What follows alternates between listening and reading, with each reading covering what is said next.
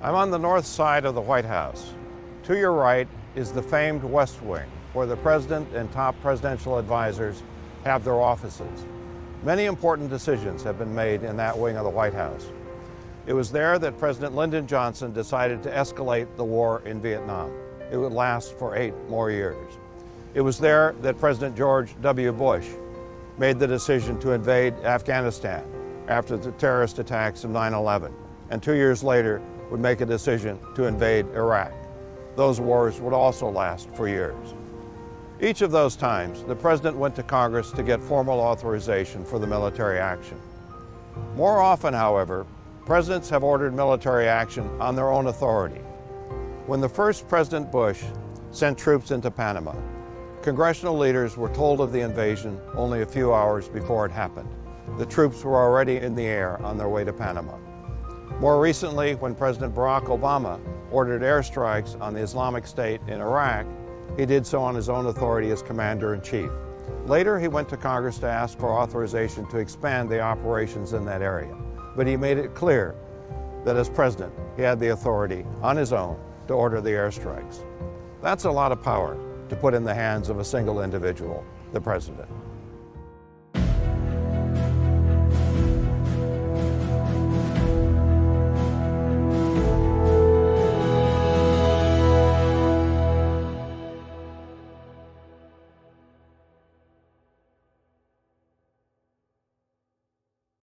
In the previous session, we examined President's domestic policy role. Here we'll examine their role in foreign policy, which rests on two constitutionally assigned responsibilities. One is that of chief diplomat.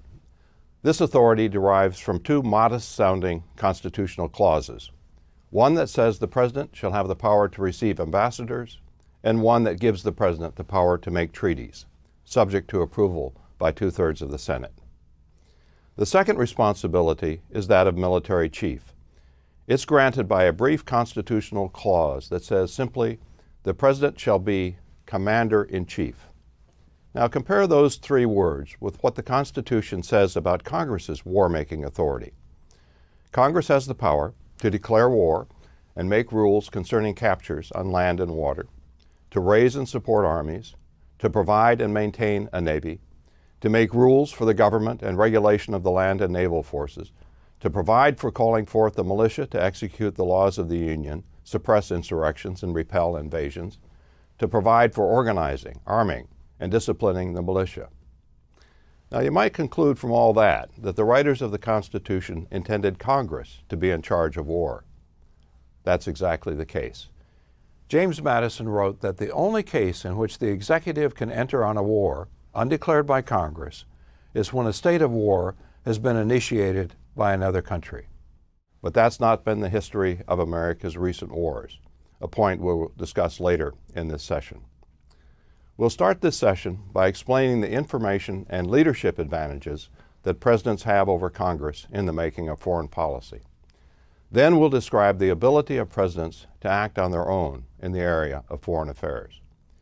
Finally, we'll turn to the president's war powers. In the 1960s, the noted political scientist Aaron Wildavsky claimed that though the United States has but one president, it has in effect two presidencies, one in the realm of domestic affairs and one in the realm of foreign affairs. Wildavsky based his claim on the tendency of Congress to defer more often to the president's initiatives when they dealt with foreign policy. We now know that Congress's greater support for President's foreign policy initiatives was a product of the Cold War.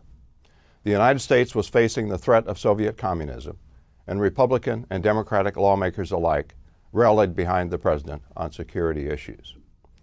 The Vietnam War shattered that consensus. Ever since Vietnam, presidents have had to struggle with pretty much the same problems partisan opposition, strong lobbies, money limits, when proposing foreign policy to Congress as when proposing domestic policy. Nevertheless, presidents continue to have advantages over Congress when it comes to foreign affairs. One of these advantages is their greater control over information. As I've noted in previous sessions, information is a source of power. To decide complex issues of policy, you first have to know. You have to have access to relevant information and to experts who can make sense of it. When it comes to foreign policy, much of the policy related information is held by the state and defense departments, and they're tied closely to the President.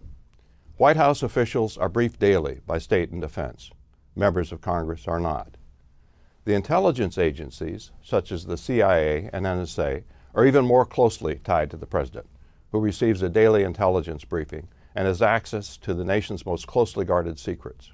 Members of Congress do not. In fact, their access to intelligence reports is strictly limited. During the debate over the invasion of Iraq, West Virginia Senator Robert Byrd repeatedly asked the Bush administration to put forth the intelligence on which it based its claim that Iraq was a terrorist threat. Byrd's request was ignored, leading him to ask whether the administration's claims were a manufactured excuse by a president who was determined to take the nation to war.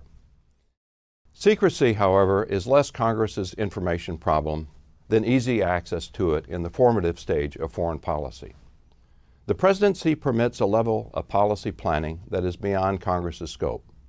Often, when Congress is brought into a foreign policy decision, the policy has already been shaped in large part by the executive branch. That doesn't stop Congress from having a role, but it can have the effect of limiting Congress's influence to adjustments in what the President has decided. Even in areas where Congress has relatively full access to foreign affairs information, presidents have the edge because they have a leadership advantage. This advantage rests on the fact that foreign relations are based on government to government contacts. Someone in each government must have the authority to act on its behalf. No member of Congress is positioned to do that. Congress is an institution where authority is divided among its members and between two chambers. Congress has no single leader that can act authoritatively on behalf of the legislative branch. In contrast, the executive branch is unified. Executive authority is not divided. The President alone has the final authority over executive decisions. As President George W. Bush put it, I'm the decider. This feature of the presidency was a deliberate choice on the part of the writers of the Constitution, a choice they made with an eye toward foreign affairs. In Federalist number 74, Alexander Hamilton wrote that the exercise of power by a single hand, that of the President, is essential to the conduct of foreign policy. Accordingly, the President has the unquestioned lead when the United States negotiates with other countries. Members of Congress can make their views known but they do not have a seat at the bargaining table. Take, for example, the trade agreements that presidents have negotiated in recent decades, including the North American Free Trade Agreement, or NAFTA, a trade pact between the United States, Canada, and Mexico. Each pact was negotiated by the White House, and when it came up for a vote in the House and Senate, their members effectively had two choices vote yes or vote no. Now, to be sure, in negotiating these pacts, presidents had to keep in mind what Congress would be willing to accept. Presidents risk defeat in Congress if they ignore its concerns. But each of these trade agreements reflected primarily the president's priorities. Now consider how different that type of situation is from what can happen when domestic policy is at issue. Take, for instance, the 2014 Farm Bill, which provides support to America's farmers. President Obama helped shape the bill but the details were largely worked out by members of Congress, particularly those in the leadership and those on the House and Senate agricultural committees. When the 2014 Farm Bill finally emerged from Congress, it was President Obama who effectively had a yes or no decision to make. He could sign the bill or he could veto it. At one point, when the bill was working its way through Congress, Obama said he would veto it unless it contained more money for food stamps the amount was increased. But even so, to Obama's displeasure, the final bill included 8 billion in cuts to the food stamp program. Nevertheless, he chose to sign the bill. Now, there's a second way in which the foreign policy presidency is more powerful than the domestic policy presidency. It lies in the fact that presidents have more opportunities to act on their own when it comes to foreign affairs. For example, although the Senate must approve any treaty that a president negotiates, presidents can make treaty-like agreements with foreign countries without Senate approval. These arrangements are called executive agreements. Based on the President's constitutional authority as chief diplomat, they have the same force in law as treaties, with one exception. With the stroke of a pen, a subsequent president can amend an executive agreement. Treaties, in theory at least, are binding on future presidents unless the Senate agrees to the modification. Because executive agreements are more easily negotiated than treaties and do not risk defeat in the Senate, presidents have increasingly preferred that option. Since World War II, presidents have negotiated roughly 15,000 executive agreements with other nations, covering everything from trade arrangements to overseas military bases. That's more than 10 times the number of treaties to which the United States is a party. Many executive agreements are worked out in secret negotiations and then announced by the President, denying Congress even the chance to make its views known beforehand. In no area, however, is the President's capacity for unilateral action clearer than in the use of military force. Since World War II, the United States has engaged in war roughly 150 times. None, not one, was authorized by a congressional declaration of war. In some cases, as with the Iraq War, the President asked Congress for a supporting resolution. But even that's the exception. More than 80% of the time, presidents have taken the United States into war solely on their own authority.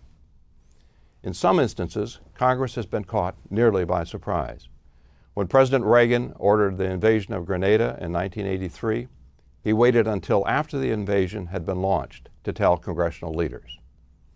Speaker of the House Tip O'Neill was among the leaders told by Reagan that combat was imminent.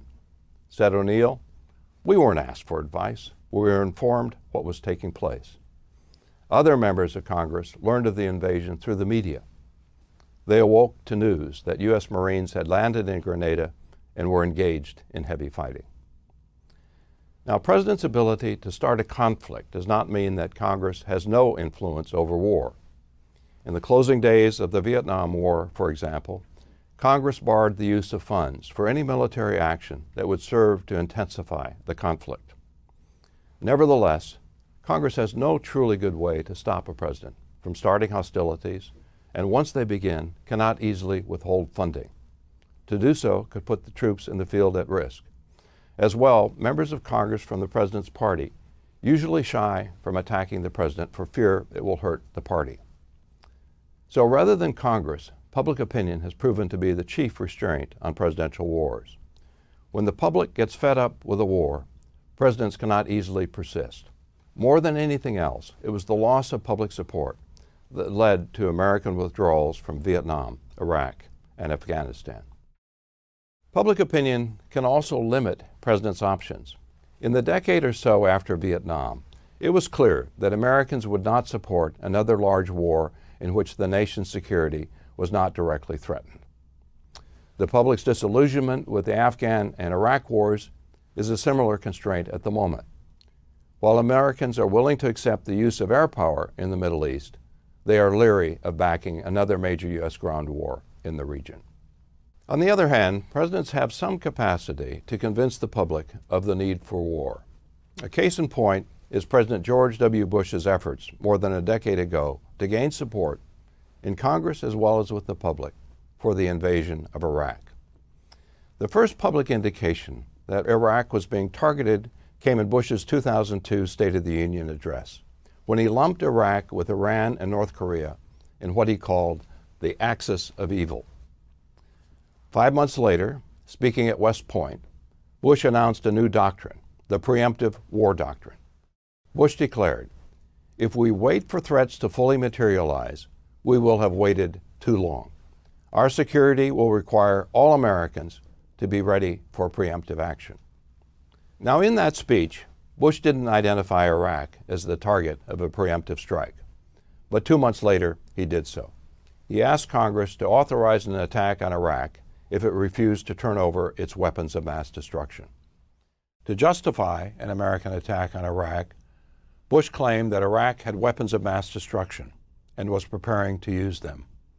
Citing intelligence reports, Bush said, The evidence indicates that Iraq is reconstituting its nuclear weapons program. Satellite photographs reveal that Iraq is rebuilding facilities at sites that have been part of its nuclear program in the past. Bush's claim that Iraq had such weapons and was prepared to use them carried the day in Congress. His House and Senate opponents lacked evidence that could have refuted the claim. The House vote was 297 to 133 in Bush's favor, while the Senate vote was 77 to 23. Now, throughout the months that Bush was building up to an invasion of Iraq, news outlets were hanging on every word coming out of the White House, allowing it to control the message. A study of the pre invasion news coverage found that Bush administration sources were quoted roughly 10 times as often as the war's congressional critics. Gradually, public opinion fell into line with the president's message. When Bush first indicated the possibility of an invasion, opinion polls indicated that less than half the public thought it was a good idea. But by the time of the invasion, in March of 2003, public opinion had swung in Bush's favor. 72% in a Gallup poll expressed approval of the invasion, with four out of every five of them saying they strongly approved of it. As it turned out, the Bush administration's claim that Iraq had weapons of mass destruction was faulty. Although U.S. weapons inspectors searched high and low in Iraq for such weapons, they found none of consequence. Critics accused the administration of fabricating the case for war. Supporters of the administration said it had been misled by bad intelligence. But one thing is clear Iraq was a presidential war, conceived and carried out by the President of the United States. Now let's step back from that case to think about the historical changes that have shifted control over war to the President. As I indicated earlier, the writers of the Constitution wanted Congress to control the decision to go to war. So why the miscalculation? Why did the framers get it wrong? Which of these do you think is the most important reason? Congress's reluctance to exercise its constitutional authority over war? President's refusal to obey Supreme Court decisions aimed at limiting their war power? Or changes in the world that have tipped the balance in war decisions away from Congress and toward the President? It's the last one. The security demands of the modern world favor presidential action over congressional action. During the nation's first century and a half, transportation and communication were slow. As a result, it took time for threats to the nation's security to develop, and it took time for the nation to gear up for a military response. That gave Congress, a slow acting institution, a major voice in war decisions. But we live today in a world where threats can materialize overnight from almost anywhere on the globe, and where the United States has the military power to respond quickly to protect its interests. These developments have shifted power to the President because the President can act swiftly and decisively. One can debate whether presidents have sometimes been too quick to act, but their capacity for swift action is beyond debate. That point was reluctantly conceded by Senator William Fulbright a leading congressional critic of the Vietnam War. Said Fulbright, It has been circumstance which has given the executive its great predominance. An entire era of crisis in which urgent decisions have been required again and again, decisions of a kind that Congress is ill equipped to make. The President has the means at his disposal for prompt action. The Congress does not. Okay, let's wrap up what's been covered in this session. We pointed out that President's authority in the realm of foreign affairs rests on constitutional clauses that establish the President as the nation's chief diplomat and as Commander in Chief of the Armed Forces. We then noted that though presidents can have difficulty getting foreign policy initiatives through Congress, they have substantial control over the content of such initiatives because of their greater access to the relevant policy information. We also noted presidents' leadership advantage in foreign affairs. The fact that presidents, because they have sole executive authority, are positioned to take the lead in dealings with foreign governments. Finally, we pointed out that presidents have more opportunities to act on their own authority in the realm of foreign affairs than in the area of domestic policy. In making this point, we cited as examples the power to initiate war and the power to negotiate executive agreements.